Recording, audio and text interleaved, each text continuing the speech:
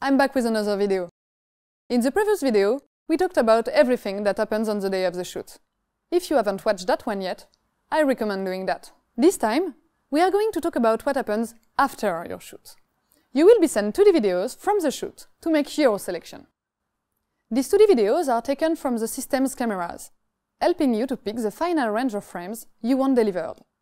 Once you have made your selection, the team will process them to get volumetric videos directly from 2D videos.